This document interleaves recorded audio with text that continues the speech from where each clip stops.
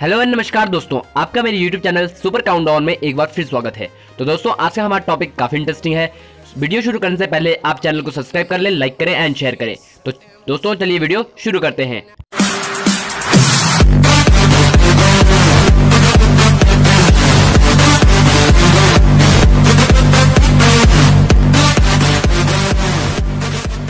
तो दोस्तों, हमारा आज का टॉपिक है, अगर चक्रा और बेंटेंसन की फाइट होती है तो इस फाइट का विनर कौन होगा? तो दोस्तों, चलिए हम बात करते हैं चक्रा की, कि चक्रा के पास क्या पावर्स है, उसकी एबिलिटीज और पावर्स क्या है। तो चलिए वीडियो शुरू करते हैं। तो दोस्तों, चक्रा के पावर्स को एक सूट के द्वारा एक्टिवेट किया जाता है, और जिससे कि वो सात चक्रों को एक्टिवेट करता है। तो पहला चक्र है रूट चक्र।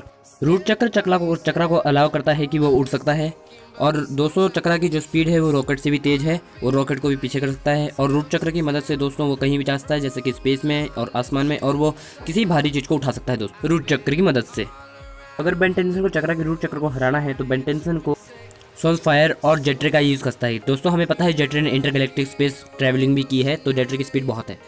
और दोस्तों साथ ही चक, साथ ही जटर के पास दोस्तों सुपर भी मटाएगा जो कि पूंछ और आँखों से करता है। यानी कि पास एक पावर पॉइंट है जिससे कि वो चक्रा के रूट चक्र पर भारी पड़ सकता है। तो बात करते हैं रूट रक्षा चक्र की। तो दोस्तों रक्षा चक्र से चक्र अपने आसपास एक फोर्स फ़ील्ड क्रिएट कर सकता है और इस फोर्स फ़ील्ड को वो दूसरों में भी यूज़ करता है। यानी कि किसी को कैद भी कर सकता है पानी में भी ये काम करता है। तो अगर दोस्तों बेंटेंसन को चक्रा के इस रक्षा चक्र को हराना है तो बेंटेंसन यूज़ कर सकता यूज़ कर सकता है।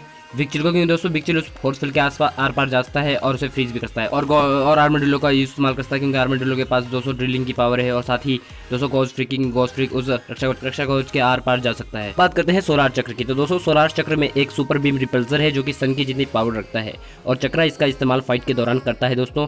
और इस सुपर बीम बीम में काफ़ी पावर होती है। या आयरन मैन के सुपर बीम लेजर की जैसा है। अगर दोस्तों बैन को सोलर चक्र को हराना है तो बैन इस्तेमाल करता है इन एलियंस को जैसे जैसे कि दोस्तों क्रोमास्टोन का क्रोमास्टोन कोई भी एनर्जी को अपने अंदर एब्जॉर्ब करता है उसे सुपर पावर में तब्दील करके अटैक करता है और डायमंड हेड को दोस्तों डायमंड हेड की पावर तो हमें पता ही है, है कि डायमंड हेड किसी भी सुपर बीम लेज़र के पावर से हुए अटैक को रिवर्स कर सकता है, जिससे कि वो सोलर चक्र को आराम से हरा सकता है। दोस्तों दोस्तों हर्ट चक्र की तो दोस्तों हर्ट चक्र, दोस्तों हर्ट चक्र में पावर है कि हर्ट चक्र पूरे सभी चक्रों को इस्तेमाल करने और उनमें बैलेंस बनाने में मदद करता है। और साथ ही दोस्तों हिल चक्र हर्ट चक्र हीलिंग फैक्टर का भी काम करता है, यानी कि किसी भी चोट या या किसी भी तकलीफ़ को कम करता है। दोस्तों बेंटेंसन को हॉट चक्र को फेल करना है तो बेंटेंसन इन एलियंस का इस्तेमाल करता है। बेंटेंसन गोस्ट फ्रिक का इस्तेमाल करता है, क्योंकि गोस्ट फ्रिक से डरा देगा तो हीलिंग फैक्टर अपने आप काम ही नहीं करेगा, क्योंकि चक्र एक्टिविटी नहीं है, और गटरोड का जो कि उस, उसे बेहोश कर सकता है। साथ ही दोस्तों टॉपिक का टॉपिक इसमें काफ़ी मेन रोल अदा कर सकता है दोस्तों। क्योंकि दोस्तों टॉपिक का चेहरा इतना डरावना है, अगर चक्रा उसे देख ले तो चक्र, चक्रा डर जाएगा और उसके चक्र एक्टिविटी नहीं होगी तो वो अपने पावर्स यूज़ नहीं कर पाएगा। अब मैं आपको एक साथ विजन चक्र और वॉइस चक्र के बारे में बताता हूँ। तो दोस्तों वॉइस चक्र से चक्रा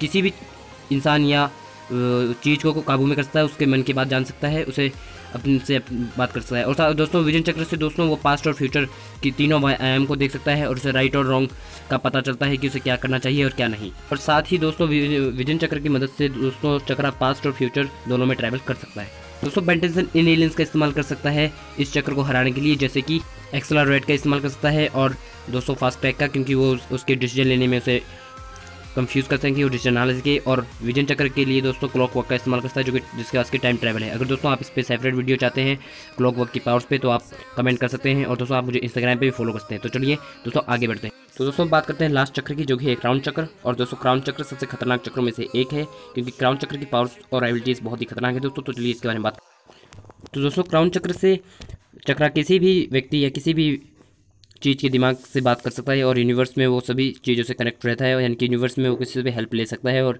यूनिवर्स में कहीं भी जा सकता है दोस्तों क्योंकि क्राउन चक्र पूरे यूनिवर्स को उससे कनेक्ट करता है। तो दोस्तों क्राउन चक्र को हराना काफ़ी मुश्किल है तो देखते हैं कि बेंटेन कौन, कौन से एलियंस को यूज़ करता है। तो दोस्तों क्राउन चक्र को हराने के लिए बेंटेंसन यूज़ करें। एको एको की ताकि वो चक्र एक्टिविटी ना हो और साथ ही यूज़ कर सकता है जो अटोमिक्स की और अटोमिक्स के साथ न्यूक्लियस पावर से जो कि चक्र के के सामने थोड़ा सा भारी पड़ सकते हैं। और दोस्तों अपग्रेड का अपग्रेड पूरे चक्र के सूट को एक्टिविटी नहीं होने देगा, जिससे कि चक्र कोई भी पावर यूज़ नहीं कर सकेगा। दोस्तों, ये बैटल काफ़ी खतरनाक है और इसका रिज़ल्ट मैं आपको बताने से पहले बता दूँ कि इसमें हमने एलियन को यूज़ नहीं किया, क्योंकि एलियन अगर आ जाता तो चक्र पहले ही हार जाता तो एलियन इसमें है नहीं। तो दोस्तों, अब बैटल के रिज़ल्ट पास आ गए हैं हमारे पास। तो बैटल बैटल इस बैटल में दोस्तों बेंटेंसन जीत जाएगा दोस्तों। तो दोस्तों, इस बैटल में बेंटेंस जीत गया क्योंकि दोस्तों, उसके बाद जो एलियंस है, उनकी एबिलिटीज़ और पावर्स चक्र के चक्रों के मुकाबले बहुत ज़्यादा है और जो वो एलियंस है दोस्तों, वो अपनी इंपॉर्टेंट है उनमें एक, जैसे कि एलियन एक्स लेकिन एलियन एक्स हमने नहीं लिया दोस्तों, उसके बावजूद भी कुछ ऐसे एलियन है जो कि जो कि चक्रों को एक्टिवेट होने से रोक सकते हैं, जैसे कि अपग्रेड जिस कारण चक्रा इस बैटल में हार जाएगा दोस्तों और बेंटेंसन जीत जाएगा। आई होप आपको वीडियो पसंद आया हो। चैनल को सब्सक्राइब करें लाइक करें एंड शेयर करें दोस्तों और आप मुझे इंस्टाग्राम पे फॉलो करते हैं लिंक आपको डिस्क्रिप्शन मिल जाएगा। Thank you have nice